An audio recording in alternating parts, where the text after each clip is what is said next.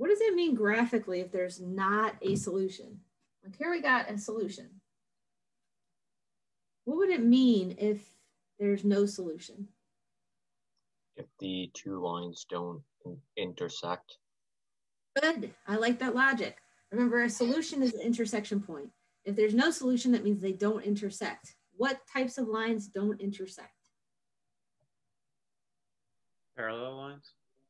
Parallel lines, okay? And this is only in Euclidean geometry. That means this type of geometry that we're doing.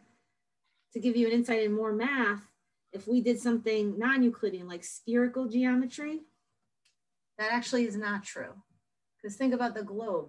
At the equator, you have the lines of longitude that, are all perpendicular. So actually they are parallel right there.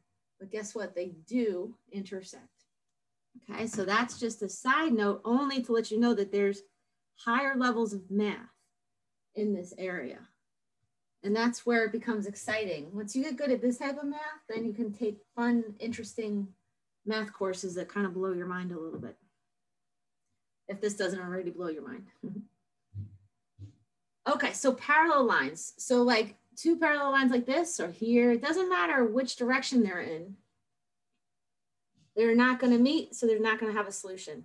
And then remember, something with one solution is like this. It, it can be anywhere. It could be here, here, here, but it's going to have an intersection point. So that's one solution. What is the third option? So you can have one solution, no solutions. Third option is? Infinite solutions? So graphically, what do you think a system that has infinite solutions looks like?